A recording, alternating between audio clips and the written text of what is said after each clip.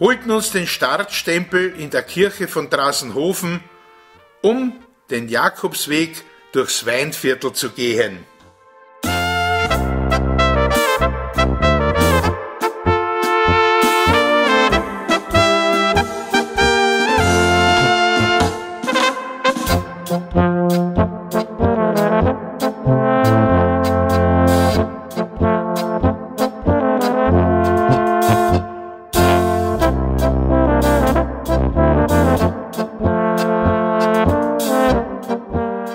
Am Schweinbader Berg steht das 1963 eingeweihte Südmeererkreuz.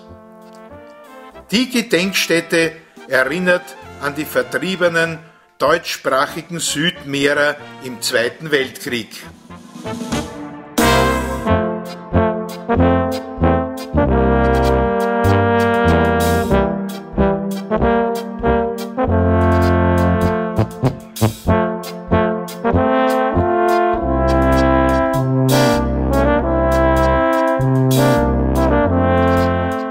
Zur Mittagszeit erreichten wir Falkenstein, um beim Heurigen einzukehren.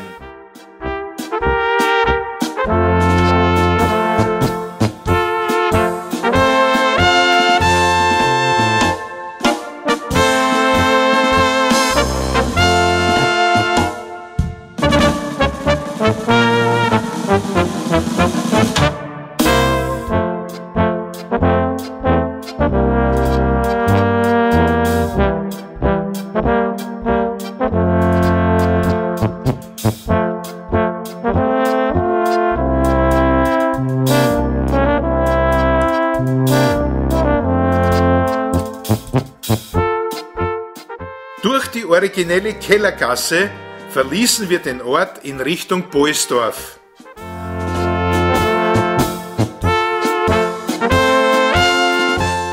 Bei einem Selbstbedienungskeller vorbeikommend genehmigten wir uns noch ein Achterl.